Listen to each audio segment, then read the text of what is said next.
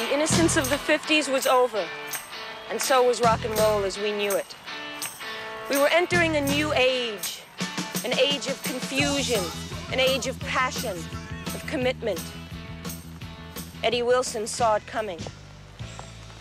Season in Hell is a total innovation for its time. It was a signal of greatness yet to come.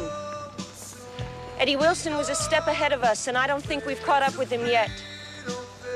Eddie's been dead for almost 18 years. But his music is as alive today as the day he recorded it. For me, and for everyone who listens to music, Eddie Wilson lives and always will.